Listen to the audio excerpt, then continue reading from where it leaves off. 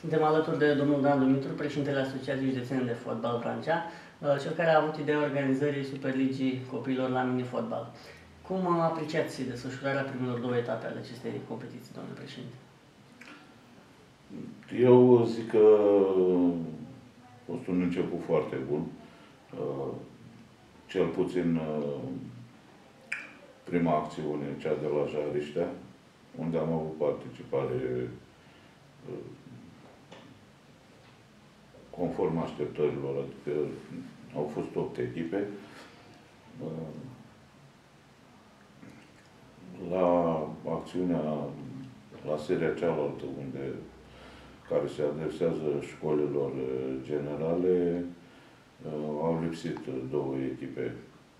S-au înscris în prealabil și ulterior au întâmpinat probleme cu transportul cu, și au lipsit. Am avut o participare doar de șase echipe. Ehm, sperăm ca următoarea, următorul turneu la școli să, să nu mai lipsească cele două echipe și să, chiar dacă vor lipsi, o să căutăm să completăm cu altele două. Ce spun delegații? Ce spun primarii din localitățile respective? Eu zic că mm, primarii mai puțin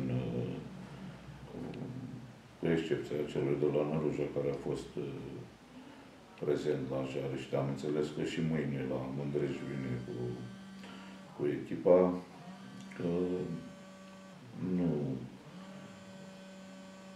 nu știu cât uh, sunt de implicați.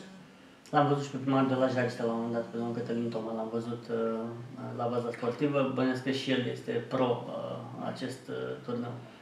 La Jariștea, la Jariștea sunt uh, cei implicați la, la echipă, respectiv uh, domnul Miron, care este profesor de sport. Uh, eu nu am avut contacte cu, am, cu oamenii politici, ca să spun așa, să, pentru această acțiune. Am căutat să să mă folosesc, ca să zic așa, doar de cei implicați în, în fotbal. Și la cât s-a putut, unii am avut semnale, cum a fost uh, uh, cazul Măicănești, care aveam semnale că au mai jucat câteva partide amicale pe la Vulturu, pe la asta, i-am contactat și adică am căutat să fac o competiție curată. Uh, cred că a fost foarte bine apreciată. Scopul acestei competiții, în principal, este uh, selecția, selecția mai bună a copiilor și, în principal, pentru Cupa Regiunilor, acțiunea de selecție la lotul național care se face um, anul acesta la anii de vârstă 98 născuți.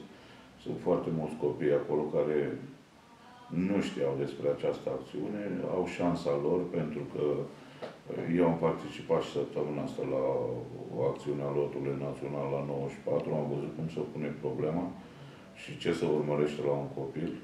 Și vă spun uh, cu convingerea că orice copil uh,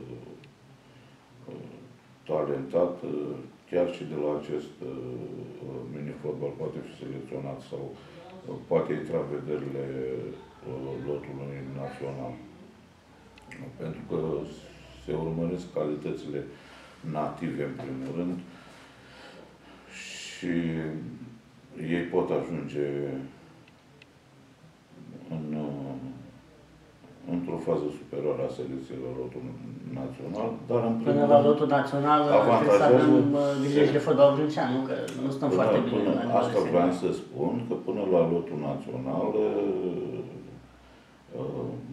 vom îmbunătăți, prin această acțiune vom îmbunătăți selecționata județului uh, la această categorie de vârstă, uh, mărind numărul de participanți aici.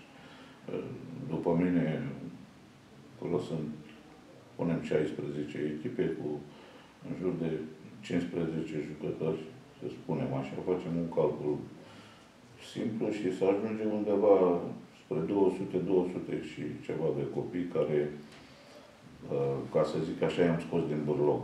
Copii care nu practicau fotbalul până la acest moment. În mod organizat. În mod organizat, da.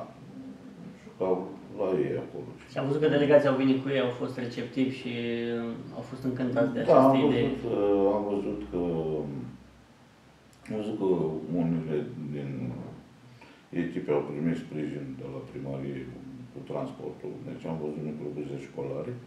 Este o, o, și este normal să fie așa. E o competiție adresată lor, școlilor. Uh, și am văzut că au venit cu microbuze școlare. Uh, Eu sper că primul an o să fie mai greu, dar eu sper că această competiție să continue la anul și să, să fie mai, uh, mai de amploare. Am înțeles. Mă Care aștept chiar este- undeva pe la patru serii. Următoarea etapă când se va desfășura? Deci următoarea etapă la cluburi este mâine la Mândrești. Și dacă vremea ne ajută, uh, săptămâna viitoare vom face uh, al doilea turneu la școli. Deci mâine este uh, la cluburi, deci uh, echipele de juniori a cluburilor de, de la Superliga. Și săptămâna viitoare de la uh, de la școli.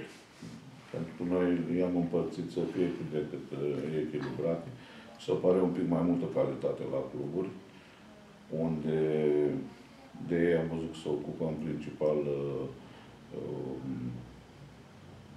oameni din, de fotbal vechi și cel mai important oameni care au făcut uh, acele cursuri de Antrenori. licența, licența ce UEFA și să, să cunoaște. Poate mulți au luat uh, și cursurile alea, le-au luat uh, ca fictive.